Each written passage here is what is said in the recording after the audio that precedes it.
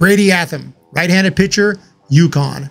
Connecticut reliever Brady Afthim is the definition of a reliable reliever. He has a traditional and smooth delivery that he's able to put on repeat, helping him to hit his spots consistently and put up impressive numbers, including 77 strikeouts in 70 innings. His fastball sits in the mid 90s but can touch 97, and he employs a cutter that misses a ton of bats, along with a sick changeup.